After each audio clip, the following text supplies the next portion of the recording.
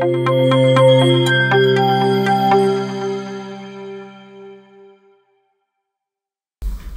Evening sir बैठो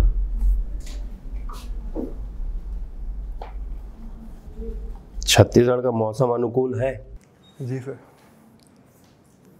कैसे अनुकूल है? बीजापुर में तो बाढ़ आ गई है। सर मानसून के समय इस तरह की समस्याएँ अक्सर देखने को मिलती हैं तो इनसे निपटने के लिए सरकार तैयारियाँ करके रखती है।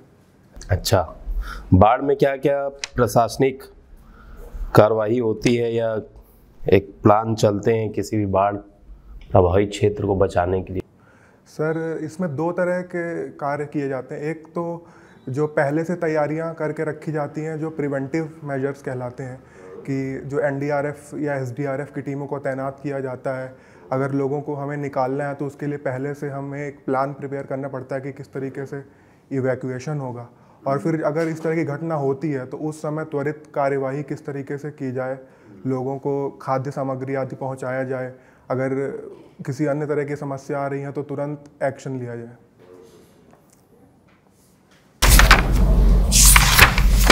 राष्ट्रीय आपदा प्रबंधन अधिकरण में कब आया था? सर ये डिज़ास्टर मैनेजमेंट एक्ट के तहत सन 2005 में इसका गठन हुआ था। सर इसके प्रमुख सर प्रधानमंत्री होते हैं। वर्तमान समय में एक समस्या वैश्विक समस्या है हीट वेव हीट सर जो कि जलवायु परिवर्तन की वजह से यह देखा जा रहा है कि देश देश और विदेश में विभिन्न जगहों पर तापमान में अत्यधिक वृद्धि हुई है। यूरोप का कौन सा देश सबसे ज़्यादा प्रभावित? है यूरोप में स्पेन सबसे ज़्यादा इस समस्या से प्रभावित है। और इंग्लैंड? सर सभी देशों में समस्या तो बनी हुई है।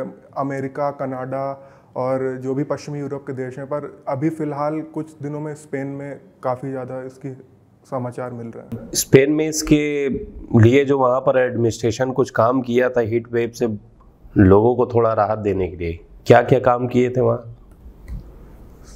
सर माफ़ी चाहूँगा इस बारे में मुझे जानकारी अनुकूल? ये अनुकूलन का सिद्धांत किसने दिया था? बायोलॉजी के पर्सपेक्ट से। अनुकूलन का सिद्धांत।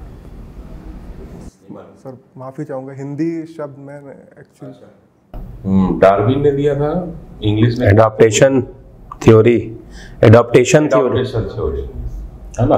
अच्छा। ये एम एन आई टी से ना आपने बीटेक किया है। ये पूछना चाहता था डिग्रियाँ सब समान है। आईआईटी से करो एनआईटी से करो और लोकल अपने इंजीनियरिंग कॉलेज से करो। क्या ज़रूरत है इस तरीके की कैटेगरी वाइज संस्थान खोलने के? सर किसी भी राष्ट्र का यह उद्देश्य होता है कि हम सबसे उत्कृष्ट किस्म के इंजीनियर या डॉक्टर्स या मैनेजमेंट की श्रेणी में विद्यार्थियों को तैयार करें। इस वजह से संस्थानों की ग्रेडिंग की जाती है ताकि उस, उस नहीं ग्रेडिंग की बात नहीं कर रहा हूँ मैं। भाई डिग्रियाँ तो सबकी बराबर आईआईटी का ग्रेजुएट एनआईटी का ग्रेजुएट और लोकल इंजीनियरिंग कॉलेज का ग्रेजुएट। क्यों? मैंने सरकार को या शासन ने किस उद्देश्य से ऐसा किया? कैटेगरी वाइज कि ये नेशनल इंस्टीट्यूट है ये इंटरनेशनल इंस्टीट्यूट है ऐसा क्यों? सर जो भी उच्च स्तर के इंस्टीट्यूट्स हैं उनको फंडिंग ज़्यादा मिलती है।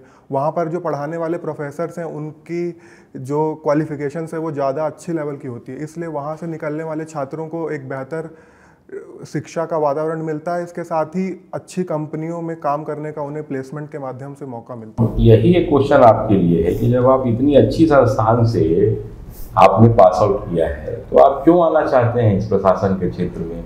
एक युवा जिसको हमने कौशल से निपुण किया, एक अच्छे संस्थान से।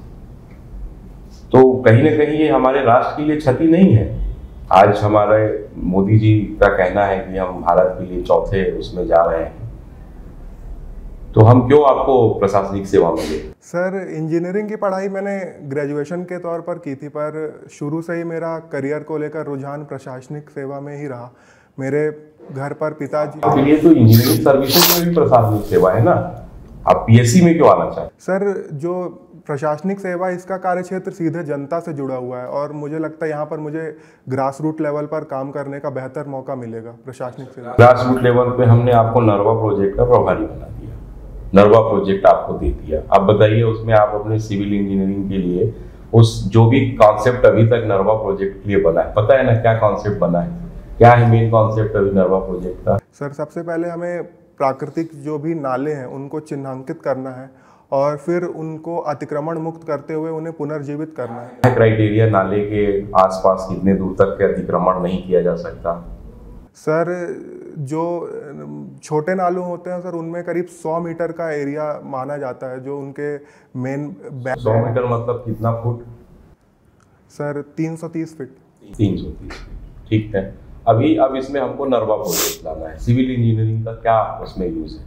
सर सिविल इंजीनियरिंग का यूज़ ये है कि जो हम नरवा प्रोजेक्ट को डिज़ाइन करेंगे तो सर, किसी भी एक क्षेत्र में किस तरीके का वहाँ पर डिस्चार्ज हो रहा है वहाँ का सर स्लोप कैसा है पानी का फ्लो कैसा है उस हिसाब से हमें सर उसकी गहराई को तय करना होगा और आसपास पानी एकत्रित हो सके। इसके लिए हमें वहाँ तालाबों का निर्माण आदि करना होगा ताकि वर्षा के समय वह जल उनसे नालों से बहकर तालाबों में संरक्षित हो सके। नहर जो बनाए जाते हैं कैनाल जो बनाए जाते हैं कौन सी आकृति के होते हैं?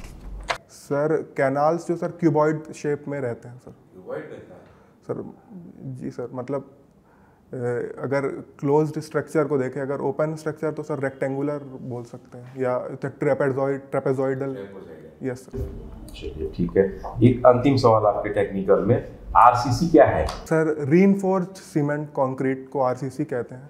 सर जिसमें कंस्ट्रक्शन के समय हम कंक्रीट के साथ स्टील का भी प्रयोग करते हैं ताकि उसकी स्ट्रेंथ को हम स्टील का यूज़ करते हैं। सर उनकी जो स्ट्रेंथ है सर वो उसकी टेंसाइल स्ट्रेंथ उसको बढ़ाने के लिए किसी भी कंस्ट्रक्शन में। और आरसीसी में रेशियो क्या रहता है? माफ़ी चाहूँगा सर इसकी जानकारी। नॉलेज नहीं है। केवल टेक्निकल और थियोटिकल नॉलेज है आपको। सर क्योंकि मैंने कॉलेज के बाद इस क्षेत्र में कार्य नहीं किया सिर्फ़ कॉलेज के समय जो पढ़ाई की थी उसी के आधार पर मैं आप लोग एक ड्राइंग करते हैं। ड्राइंग करते हैं ना? कौन से सॉफ्टवेयर का इस्तेमाल करते हैं? सर उसमें सर दो तरह के सॉफ्टवेयर एक तो सर स्टैड प्रो है जो कि स्ट्रक्चरल डिज़ाइन में काम आता है। और दूसरा सर उसका नाम मुझे याद नहीं है। CAT sir computer new education policy जो है उसकी पाँच विशेषताएँ भी बताइए। सर पहली विशेषता कि उसमें स्कूल स्तर से ही तकनीकी शिक्षा पर ज़ोर दिया जा रहा है। दूसरा उसमें शिक्षा के साथ साथ वोकेशनल एजुकेशन पर ज़ोर दिया जा रहा है। तीसरा कॉलेज एजुकेशन में डिग्री के साथ साथ टेक्निकल नॉलेज और साथ ही रिसर्च के क्षेत्र में जो तीन साल की डिग्री है उनको चार साल का किया जा रहा है। साथ ही एम फिल तीन साल की जो डिग्री है चार साल कंपलसरी है? नो सर जिसको रिसर्च के क्षेत्र में जाना है उसके लिए ये प्रावधान है। साथ ही सर एम फिल को ख़त्म कर दिया गया जिससे कि अतिरिक्त छात्रों का समय ना बर्बाद हो और वो सीधे रिसर्च कर सकें। और सर पांचवा ये कि सर नए तरीके का करिकुलम विकसित किया जा रहा है जिससे आज हम 21वीं शताब्दी के हिसाब से जो नई शिक्षा के क्षेत्र हैं उसको विद्यार्थियों तक पहुँचा सकें। अभी दो तीन दिन पहले एक योजना लॉन्च हुआ है भारत सरकार का पीएम श्री योजना। सर पीएम श्री योजना स्कूलों के शिक्षा से जुड़ी हुई योजना है जिसके अंतर्गत प्रत्येक ब्लॉक में एक उत्कृष्ट स्कूल को खोलने की योजना बनाई गई है।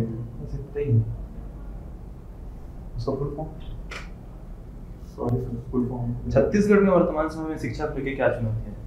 सर छत्तीसगढ़ में एक बहुत बड़ी आबादी जो ग्रामीण क्षेत्रों में रहती है वहाँ पर शिक्षा की पहुँच अभी दूर है और ख़ासकर जो वर्तमान में अंग्रेज़ी और तकनीकी शिक्षा का ज़ोर है वो वहाँ तक नहीं पहुँच पाया। यही सबसे बड़ी चुनौती है। बस इतना ही। जैसे आप अगर डीसी बन गए ग्रामीण क्षेत्र में आप क्या करेंगे ऐसा कि शिक्षा का लेवल ठीक हो। सर मैं सबसे पहला यही प्रयास करूँगा कि जो भी स्कूल हैं वहाँ पर उनमें प्रॉपर इंफ्रास्ट्रक्चर हो और जो भी टीचर्स वहाँ पर अपॉइंट किए गए हैं उनका सर बहुत स्ट्रिक्ट इन्फोर्समेंट हो कि वो अटेंडेंस उनकी हंड्रेड परसेंट रहे और एक परफॉर्मेंस इवेल्युएशन भी हो कि जो उनका प्रदर्शन है छात्रों का उसके आधार पर ही जो टीचर्स हैं उनको भी सर वो किया जाए। तो पॉलिसी तो गवर्नमेंट बनाएगी ना आपको तो सिर्फ़ उसको इम्प्लीमेंट करना है। सर मैं सबसे सर जो वहाँ पर जाकर निरीक्षण करना का सबसे प्रयास करूँगा कि अगर हर हफ़्ते या हर महीने में जो भी स्कूल हैं उनमें जाकर देखना कि वहाँ किस तरह की व्यवस्था है। वहाँ पर जो पढ़ाई के साथ साथ जो अन्य गतिविधियाँ हैं उनका प्रावधान है कि नहीं। वहाँ बच्चे आ रहे हैं कि नहीं। वहाँ पर जो भी मिड डे मील स्कीम है वो प्रभावी ढंग से लागू है या नहीं? यहाँ की जो सामाजिक संरचना है छत्तीसगढ़ की आपने पढ़ाई की होगी समझे होंगे। वो कैसे प्रभावित करती है शिक्षा को? सर सामाजिक संरचना शिक्षा को इसलिए प्रभावित कर सकती है क्योंकि ऐसी कई सामाजिक वर्ग हो सकते हैं जो कि शायद शिक्षा को उतना महत्व ना देते हो। पर मुझे लगता है वर्तमान समय में ऐसा नहीं है। सभी शिक्षा के महत्व को समझते हैं। आप एमपी एमपी से हैं। छत्तीसगढ़ लोक सेवा आयोग ही क्यों? मध्य प्रदेश लोक सेवा आयोग की भी तो परीक्षा है। तो छत्तीसगढ़ में ही क्यों प्रशासनिक अधिकारी बनना चाह रहे हो? सर छत्तीसगढ़ मतलब मेरे लिए अलग प्रदेश नहीं है क्योंकि मैं यहाँ पर बचपन से ही आता जाता रहा हूँ। मेरी बुआ यहाँ निवास करती हैं एवं सेवा में भी हैं। और क्योंकि मैं खुद भी बघेलखंड क्षेत्र से आता हूँ तो हमारी जो भी भाषा संस्कृति और खान पान इत्यादि सभी छत्तीसगढ़ से मेल खाता है। टमाटर को बघेली में और छत्तीसगढ़ी में क्या कहेंगे? सर हम लोग तो सर टमाटर ही बोलते हैं बघेली में और छत्तीसगढ़ी में सर उसको पाताल बोलते हैं सर। तो ये तो बहुत बड़ा अंतर हो गया। कहाँ सेम है बघेली छत्तीसगढ़ी बहुत सर जो बोलने का लहजा है किसी भी बोली में या भाषा में सर जो लोगों के बोलने का जो तरीका होता है वो काफ़ी हद तक यहाँ पर जिसे हम मीठी बोली बोलते हैं जो पूर्वी क्षेत्रों में चलती है वो हमारे इधर और छत्तीसगढ़ में काफ़ी हद तक एक जैसी है। अच्छा यहाँ बुज़ुर्ग को क्या बोलते हैं छत्तीसगढ़ी में? कोई भी बुज़ुर्ग होगा उसको छत्तीसगढ़ी शब्द क्या है? अब बघेली में क्या बोलते हैं? वहाँ बुज़ुर्ग को किस नाम से पुकारते किस शब्द से? सर मतलब अलग से शब्द तो नहीं पर वैसे हम लोग जैसे बुढ़ाईदार बोल सकते हैं या फिर बुढ़ाऊ बोल सकते हैं। दादू किसको बोलते हैं? सर लड़के को दादू बोलते हैं। अच्छा यंगस्टर को? ठीक। अभी इसमें आपने लिखा है वॉचिंग फ़िल्म आपकी हॉबीज में अभी बॉलीवुड में ट्रेंड चल चल रहा है बाइकआउट क्यों हो रहा है? मतलब उसका बेसिक रीजन क्या है? सारे मूवीज़ को बाइकआउट ट्रेंड करते हैं। सर जो जो दर्शक है जो फ़िल्में देखने जा रहे हैं आजकल उनके पास कई तरह के दूसरे भी साधन हैं जिसके माध्यम से वो फ़िल्म देख रहे हैं। और इसमें खासकर क्या ज़रूरत है? देख रहे हैं तो सर उनका लोगों की यह मांग है कि जो बॉलीवुड में जो फ़िल्में वो लोग बना रहे हैं वो उस क्वालिटी की नहीं बन रही है जो उन्हें साउथ के सिनेमा में या बाहर के सिनेमा मिल रहा है। तो इसलिए और दूसरा एक सर इसमें परिवारवाद या नेपोटिज्म का भी लोग आरोप लगाते हैं अक्सर फ़िल्म निर्देशकों और कलाकारों पर कि वह सिर्फ़ अपने ही परिवार के लोगों को ही मौका दे क्या हिंदुत्व को भी लेकर के बाइकआउट किया जा रहा है? हिंदुत्व का सहारा लेके। वर्तमान समय जो विवाद का कारण है। सर हिंदुत्व को लेकर बाइकआउट इस वजह से होता है कि कई बार ऐतिहासिक फ़िल्में बनाते वक्त जो निर्माता या निर्देशक हैं वो लोगों की भावनाओं को आहत कर सकते हैं या करते हैं। उसके विरोध में लोग कला में तो अभिव्यक्ति की आज़ादी होनी चाहिए अनुकूल। ये तो अभिव्यक्ति की आज़ादी मानी जा सकती है लेकिन इतना इनिशियली भी किसी के भी रिलीजन को नहीं किया जाता जैसे कि बताया जा रहा है अभी। तो आपके अनुसार बाइकआउट गलत नहीं है? सर अगर फ़िल्म कोई बना रहा है तो वो लोगों के देखने के लिए बना रहा है। तो जिस प्रकार से उसकी अभिव्यक्ति की आज़ादी है उसी तरह जो देखने वाला है उसकी भी अभिव्यक्ति की आज़ादी है कि वो वह फ़िल्म नहीं देखना चाहता। नहीं तो वो खुद तो नहीं देखता है लेकिन वो मतलब बाकी लोगों को भी ऐसा मतलब बताता है कि इसको नहीं देखना है। ट्रेंड चल पड़ता है ट्विटर पे या फिर फेसबुक पे यूट्यूब पे कि नहीं देखना है मूवीज़ ये कितने हद तक सही है? इससे हेट प्रमोशन बढ़ जाते हैं। इकोनॉमी को कितना इफ़ेक्ट होता है इससे? सर कुछ मामलों में तो मेरे को मैं ये मानता हूँ कि ये बाइकआउट ट्रेंड गलत है। किसी भी फ़िल्म को टारगेट करना गलत है। अगर व्यक्ति को वो फ़िल्म नहीं देखनी तो वो उसे खुद ना देखने जाए। अन्य किसी को उसको जाने से नहीं रोकना। क्या इसका एक कारण ये भी नहीं मान सकते कि अब लोगों के पास मनोरंजन का विकल्प है? वेब सीरीज़ है। तभी बाइकआउट भी हो पा रहा है। इसका दूसरा पहलू तो ये भी बोल सकते हैं। है। ऑप्शन ज़्यादा नहीं है। अच्छा। ठीक अनुकूल, एक आखिरी सवाल का आंसर दीजिए। आपके लिए जहाँ पदस्थापना होती है छत्तीसगढ़ में, है ना, वहाँ पर सामान्यतः देखा जाए तो विभाग स्तर पे बहुत ज़्यादा लॉबिंग चल रही है। आपके अधीनस्थ जो है, सब ऑर्डिनेट जो है, वो आपका सहयोग नहीं कर रहे हैं। और आपके संबंध में तरह तरह अफवाह फैला रहे हैं विभाग स्तर पे। जिसके कारण जो है, आप अपनी शासन की योजनाएँ जो विभाग स्तर पे लागू होनी चाहिए, उसको आप पूरा नहीं कर पा रहे क्योंकि विभाग स्तर पे बाकी सब ऑर्डिनेट का आपके पास सपोर्ट नहीं है। क्या करेंगे? सर, सबसे पहला जो मुझे लगता है कि कम्युनिकेशन इसका सबसे सही रास्ता होगा कि मैं उन लोगों से ही बात करूँगा कि आखिर आपकी क्या समस्याएँ हैं जो आपको मेरा कार्य पसंद नहीं आ रहा। कहना है कि आप हमको भ्रष्टाचार नहीं करने देते इसलिए सहयोग नहीं करेंगे। कम्युनिकेशन की ये कारण भी बता दिए वो लोग। फिर? सर भ्रष्टाचार का तो सर मेरे हिसाब से सर ज़ीरो टॉलरेंस होना चाहिए। अगर कोई भी इस तरह की कार्यवाही में लगा हुआ है तो उस पर सख्त कार्यवाही होनी चाहिए। अच्छा। ठीक है अनुकूल आपका कंप्लीट हुआ आप जा सकते हैं। Thank you